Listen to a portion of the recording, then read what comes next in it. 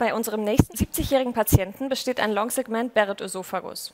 Eine auswärtige Histologie ergab den Verdacht auf eine hochgradige intraepitheliale Neoplasie, was allerdings durch einen Referenzpathologen nicht bestätigt werden konnte. Zur nochmaligen Beurteilung stellt sich der Patient jetzt in unserer Klinik vor. Professor Bergmann und Professor Alescher werden uns jetzt das strukturierte Vorgehen zur Beurteilung des Barrett-Ösophagus zeigen. Jack Hans, good morning. You are on the screen. Good morning. To show you this Barrett's case, if you have, I see you have endoscopy, and we're in the stomach, and maybe Hans, I just do a slow, slow pullback, just Yeah. to and and not comment on anything. Yeah. Patient is under proper full sedation, and I'm trying to inflate the esophagus. There's a small cap on the scope. That helps me to stay stable if I want to do a more detailed inspection.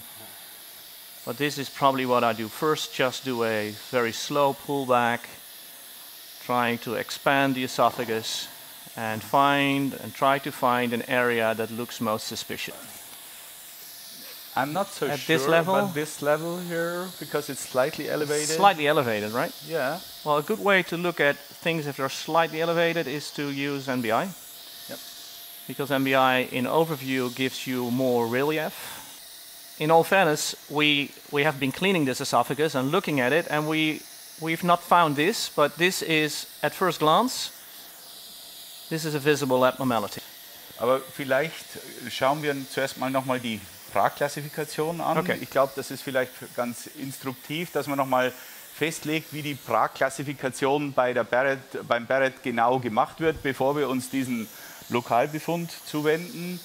Äh, der wichtigste Punkt ist ja sozusagen zunächst mal das distale Ende festzulegen.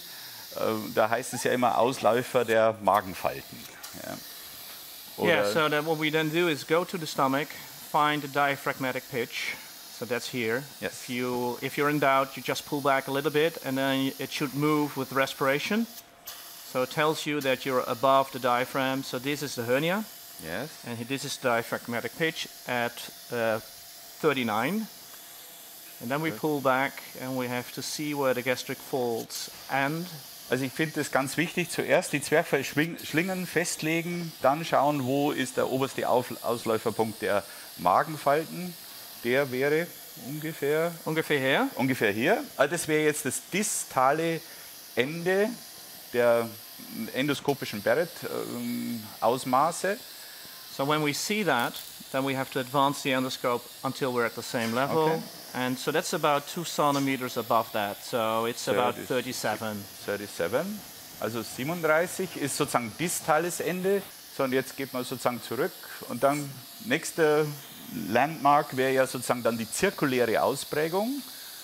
Das ist eigentlich, wenn man die Vielleicht hier. hier, das wäre jetzt 33, 34, 33 Zentimeter. Yeah. Und dann die maximale Ausprägung, so maximal extension of the tongues, das wäre hier bei 30. Dazu Ja. lohnt es sich NBI zu nehmen, weil man dann sozusagen das nochmal besser differenzieren kann. I don't think it's really an issue if, if it's up to here or up to there. This is about a six to seven, seven centimeter long Barrett segment. It's a C4M6 or C5M7, something like that. Ja. Uh, it's it's a matter of so the pullback that we did was with white light. Our our attention got drawn to this lesion here now at the nine o'clock position. It then makes logic to take a detailed inspection with white light, and then I always would switch to NBI to take a closer look to see if there's any irregular patterns in there. And it's not like this jumps at you as if this would be clearly a cancer or a dysplastic lesion. So then Maybe switch back to white mm-hmm. light and make mm-hmm. sure that we're actually inspecting the area that we picked up in the first place. Okay. And it is indeed still this slightly. This is so we found this based on the relief, a slight mucosal difference in height, Okay. which in overview is probably the most uh, logical thing to first look at. Okay.